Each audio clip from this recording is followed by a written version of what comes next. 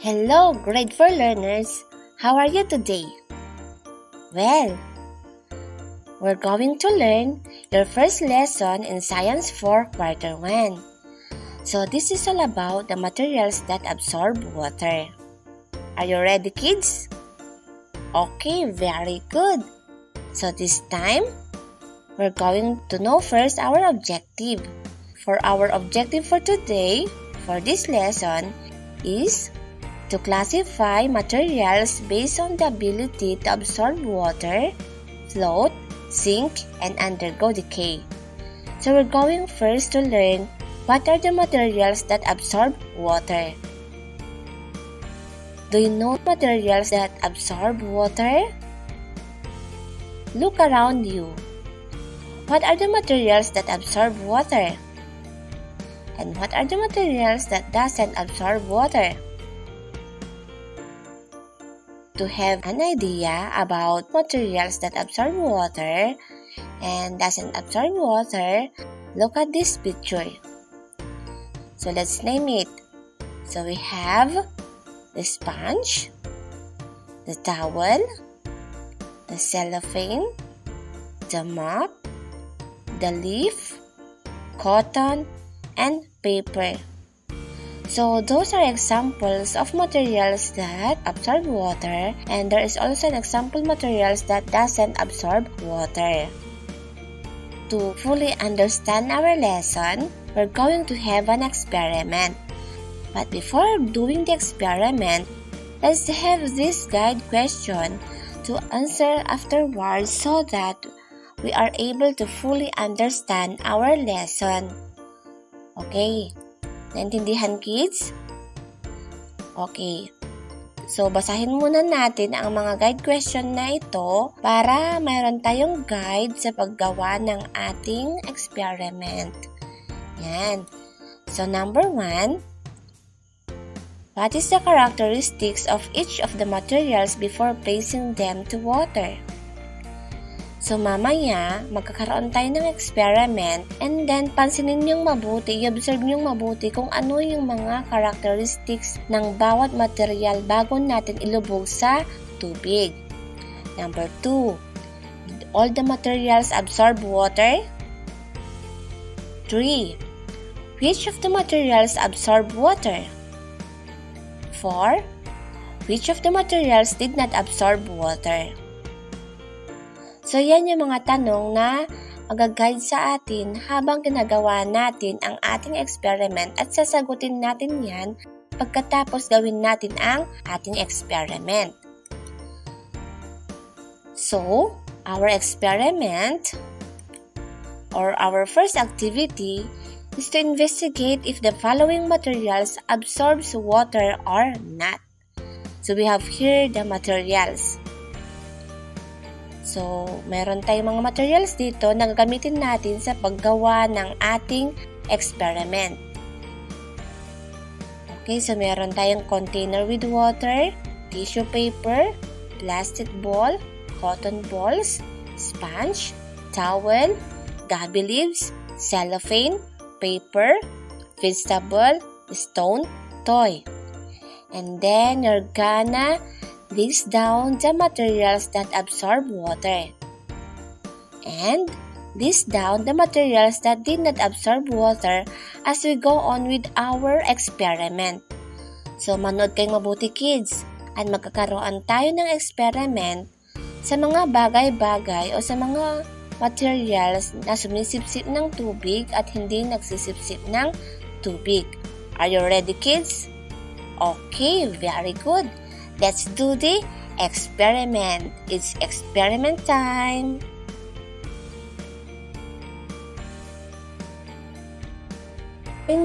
So you're going, kids, to observe if these materials will absorb water or not. Okay, let's start it. So we're going to start with the bottle. So look at kids what I'm doing. And then I've done a squeeze. Does water come out on this container? Can you see water coming out? If I'm gonna squeeze the this container, Okay. How about this paper? I'm gonna put here on the water. Does it absorb water?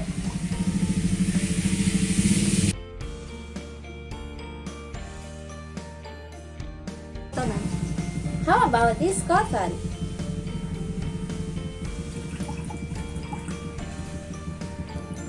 There's water coming out from this cotton. And how about this sponge?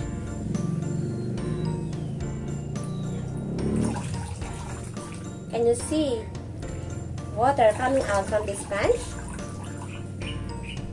How about this eggplant? Squeeze it.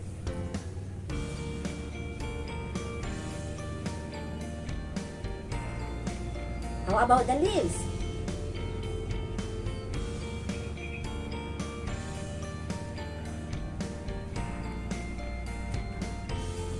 The tissue paper.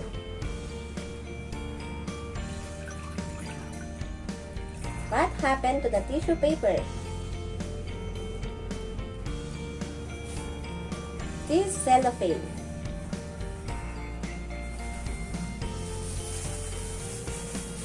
Does it absorb water?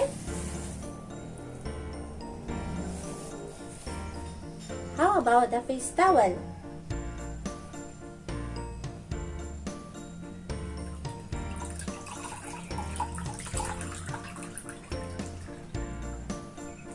And have also the plastic ball.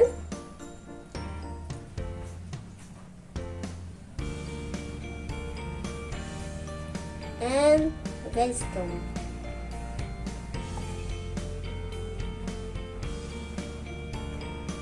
So in this experiment kids, in this activity, you have observed the materials that absorb water or not.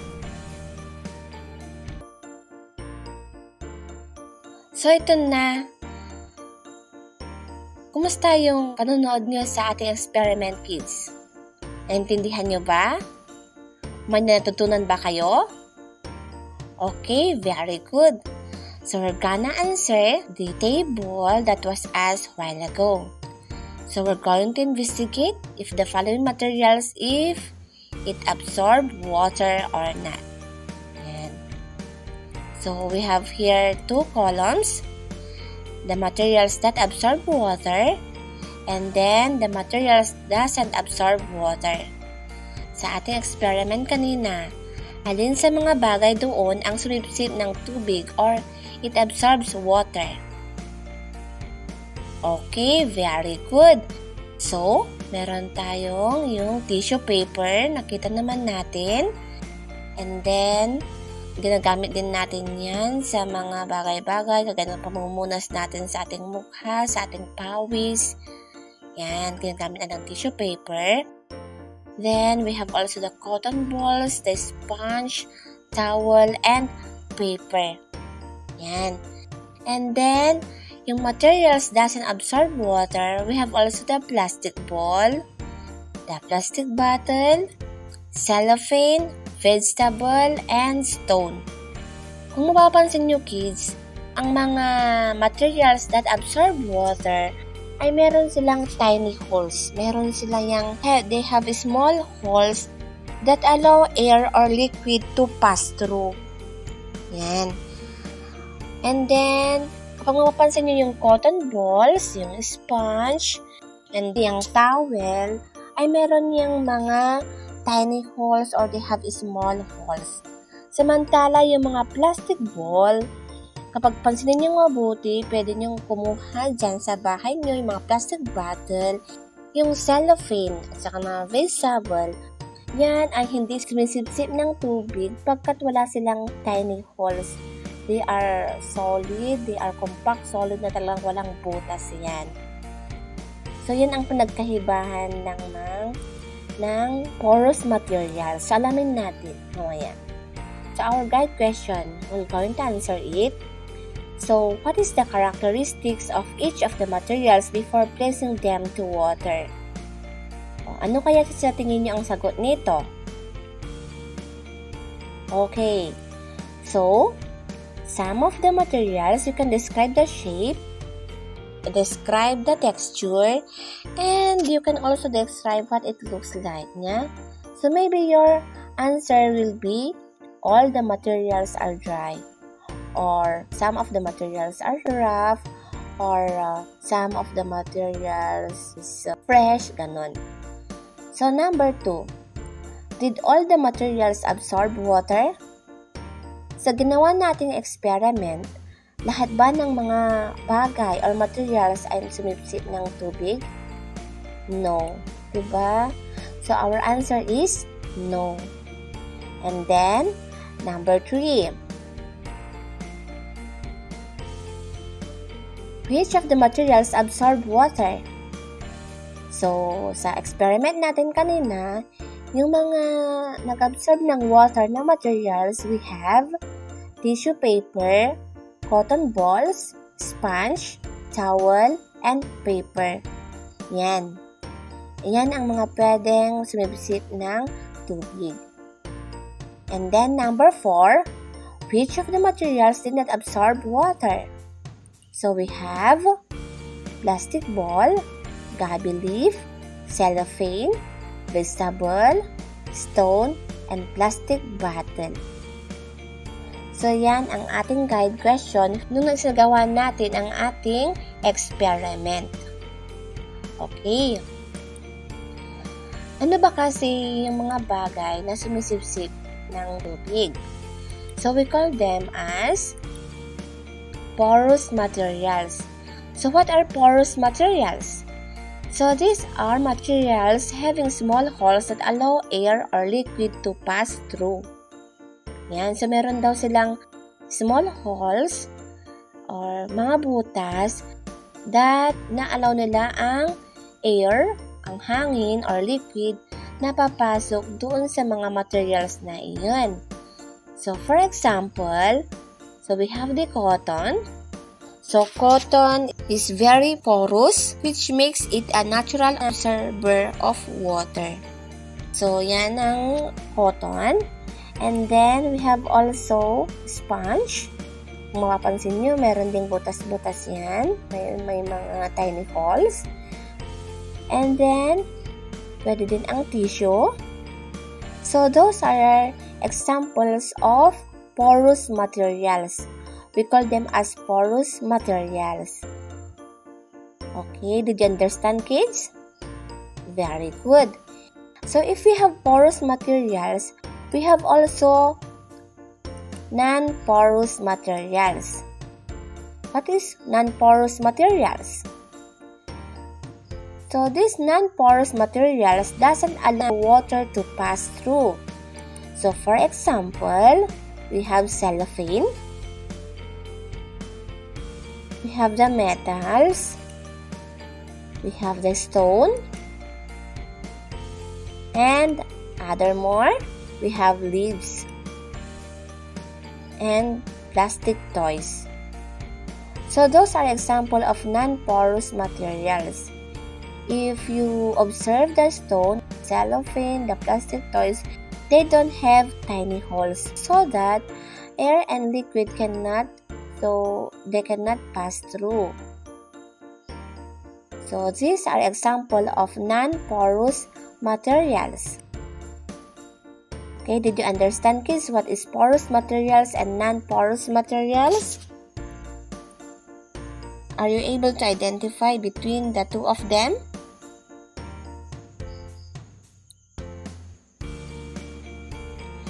So, there are different materials in our environment that can be classified according to their properties.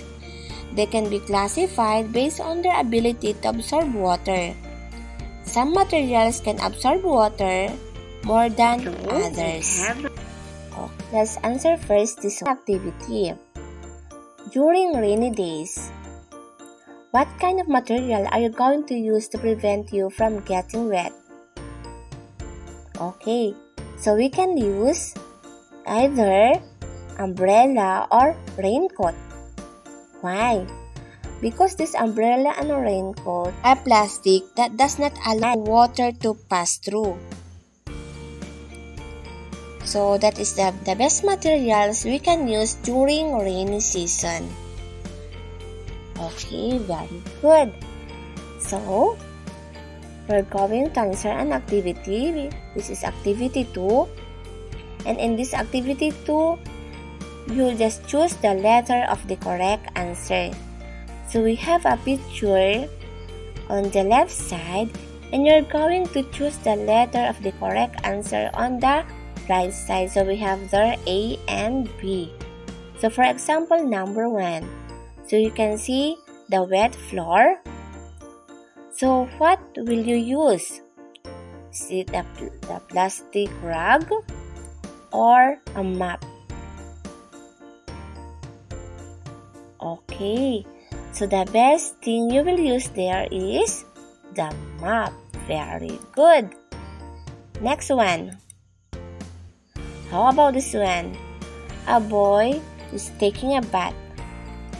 What is the best he will use to wipe his body? Towel or sack? What is the best answer here? So we have the towel. Very good. Next one. Okay. A boy with full of sweat on his face what is the best material that this boy will use to wipe his sweat on his face? Cellophane or handkerchief? Okay, very good. So we have the handkerchief. Next, a boy is washing his face. What is the best material that he will use to dry his face? Face towel, paper. So the best answer there is face towel. It can absorb the water. And then, underline the correct answer. So we have here our activity 3. So a towel is made of cotton wool plastic. It, it can cannot absorb water. So what is your answer here? A towel is made of cotton wool. Yes, very good. And it can absorb water. Very good. Next, number two. A stone is made up of rubber, mineral. It can cannot absorb water. So we have there it cannot absorb water. Very good. And then, number three, a handkerchief is made of plastic cloth. it can cannot absorb water. Can, cannot what is the best water. answer here? What is the best answer here? Cloth. Very good. Cloth. And it can absorb water. Next one. A chair, is made, of, made metal, of metal, plastic. It can cannot absorb water. Okay, it is made out of plastic and then it cannot absorb water. And the last one, we have that an egg tray made up of cotton paper pulp. It can cannot absorb water. Okay, it is made out of paper pulp and it can absorb water. So that is our lesson for this day for the first quarter on Science 4. Thank you kids and have a blessed day. Take care always and be safe. Bye-bye.